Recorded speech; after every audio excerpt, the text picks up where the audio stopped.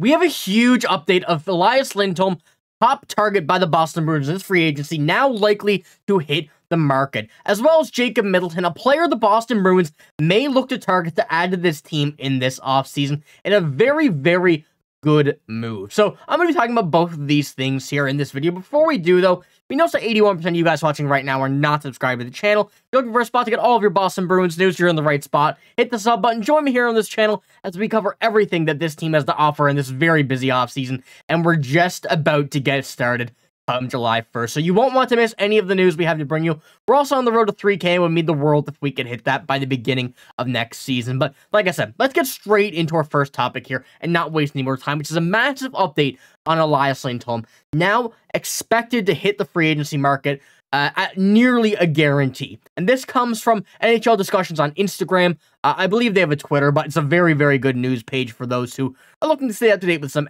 uh, all NHL news. And they have this to bring out today.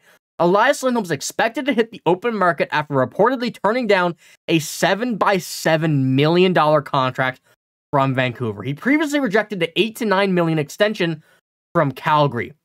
This is an absolutely, you know, huge situation right here with Elias Lindholm now rejecting a second contract from a Canadian team at a very high AAV. And this is a bit concerning for the Boston Bruins and the Boston Bruins fans who want to see Elias Lindholm come to this team. But there's also some pretty good things that we can take away from this if we dig a bit deeper. So I'm going to be talking about all of that here. But Elias Lindholm, a guy that many, many targets uh, have been put on him by the Boston Bruins to try and acquire him uh, at any given situation they can. They tried at this year's deadline, um, as we've spoken about a lot here, and they're going to be likely trying again here in this free agency to get that number one center spot filled up with a player who has the potential to be a very good uh, offensive forward, but is already a very good defensive forward to fill both sides of the puck, which the Bruins are absolutely used.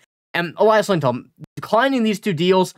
Not really sure how much he wants to get paid, or not really, we're not really sure how much he's going to make now after declining these two. It could be a situation of not wanting to play in Canada. It could be a situation of him thinking he's worth more money than those two deals.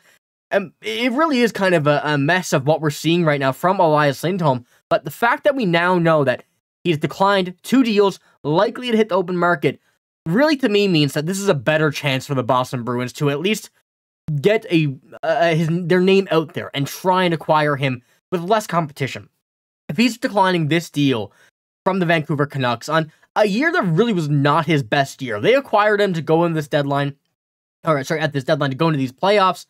Likely, you would have to say in hopes of re-signing him to help out the team, and it really didn't happen. And now, if he does end up walking here, this could be a big loss for Vancouver, but a huge gain for whoever he decides to sign with if he does end up hitting the open market. And I'm going to pull this screenshot up here as well uh, from Fresh, kind of showing the chart, but also shows um, you know, the breakdowns of the contracts again that he declined. As you can see here, not the best year from Elias Lindholm. He's currently currently going to be a free agent uh, come July 1st, as long as he don't get an extension with the Canucks. Uh, but as we're seeing, unlikely now at this point, seven years, seven million declined.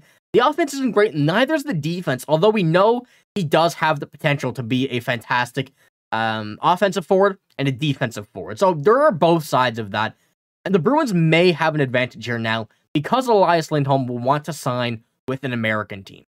To me, to what we're seeing on Twitter, to you know, kind of just what we've seen in the past, it looks like he's trying to go somewhere where he'll get the most bang for his buck, I guess you could say, where a state where the taxes are low, or you know, not being as highly taxed as in Canada and whatnot, or just not even want to play in Canada in general. That's really what it seems like from this point now, and we don't really know too much more about Elias Lindholm in this situation where he hasn't played for an American team yet um, on the either of those two teams. He was tempted to go to Vegas at the deadline. Nothing that came uh, came from that, and nothing came from uh, the Boston Bruins. But a very big situation here. We know that Elias Lindholm is a, a good player, has a lot of potential for the number one center role.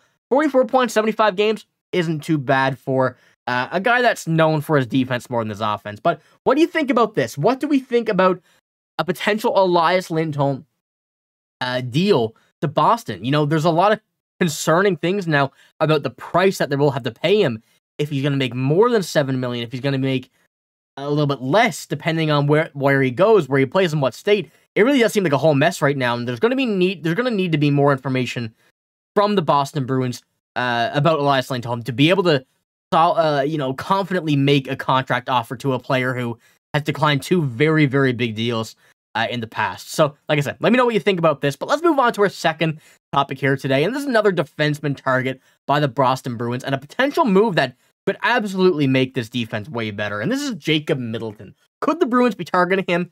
A recent report from the Hockey News, it seems like this could be the case. And I will pull this up here uh, right now on this one. Middleton, 28, took a big step forward this past season with the Minnesota Wild and even often played on their top pairing.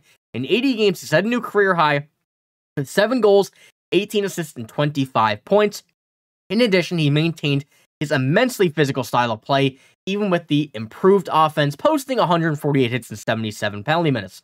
The Bruins could absolutely use a mean 6'3 defenseman like Middleton in their top four. He would instantly make that team that has been criticized by many for being soft far more challenging to go up against. Jacob Middleton, I am a huge fan of him. His play style, he's the type of defenseman that you absolutely want and you kind of need to have on your team, especially when you don't have the most physical roster uh, anymore for the Boston Bruins. We know that they had a physical roster in the past. That isn't so much the case right now, but a guy like Jacob Middleton, the hits he's put up, the penalty minutes, his physical style of play uh, from the NHL to international hockey, he don't care where it is, where the puck is. He's going to make sure that nobody's going around the goalie. Nobody's getting in the zone. He's a very big body, great defenseman putting up, uh, as you've seen there, a career high in numbers as well. A very good sign that he's only going to be getting better and better. And as you can see, the shots, he's been just having a career year overall. And it's something that you want to see from a guy like Jacob Middleton, who's only 28 years old and uh, is really, really on, on a the high point of his career right now. And I'm only seeing him going up. So I would love to see him on a Boston Bruins roster. He's on the final year of his deal here on uh, from what we've seen, or sorry, uh, final year of deal here from Minnesota. And what we've seen from that Minnesota team, it certainly seems like they are going for it, but could try and improve the roster at some point here in this offseason to make it a bit better. They're in a bit of a cap situation right now where they absolutely have no help. You know, that's a really big issue for that team, but it's a good sign that they can and will try to make a move. So let me know. What do you think about Jacob Middleton? As you can see, the final year of his deal, 2.45 very, very possible for the Bruins to make a move there. They have a lot of money that can work with that. And uh, Jacob Middleton fills in a lot of great roster spots here, I guess you could say, for this Boston Bruins team. As you can see here, this is continuing of that article. If the Bruins acquire Middleton, he would be an option for their top pairing with Charlie McAvoy, as he's played big minutes in Minnesota. However, he would also work on the second pairing. In addition, he would be able to pick a, a big pickup for their penalty kill. Um, and just his whole game overall kind of centers around that style of play, which the Bruins absolutely need to make this roster just the slightest bit better.